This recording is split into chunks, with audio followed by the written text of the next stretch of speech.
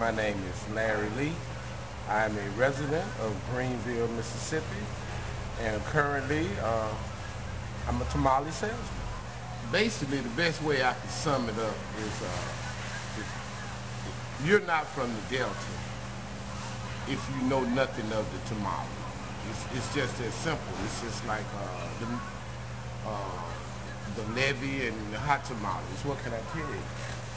Certain things have uh, flavor or you know you go to a region or a part of the country and every every place you go has a signature something you know.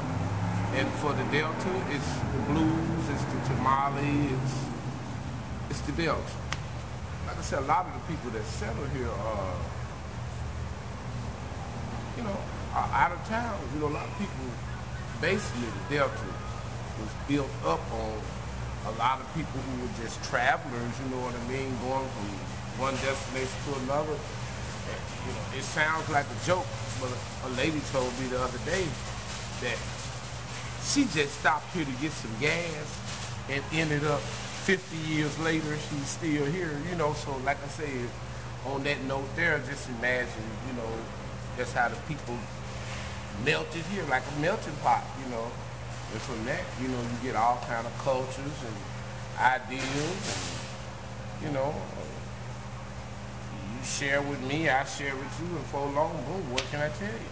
Something came out of it. And, uh, you know, the tamale was one of those things. And, like I said, uh, I've traveled a lot of places, you know, all over the United States.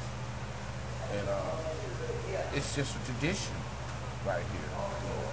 I've been a lot of places, big cities. You, you can find a tamale, but you can't find a Delta tamale. You know. Like I said, my boss man, this is Willis Harmon, one of his sons.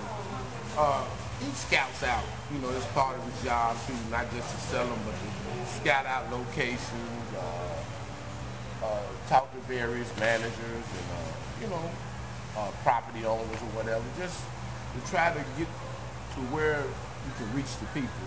And County Market, like I say, is a, a well-established grocery store and chain, and uh, a lot of people come here.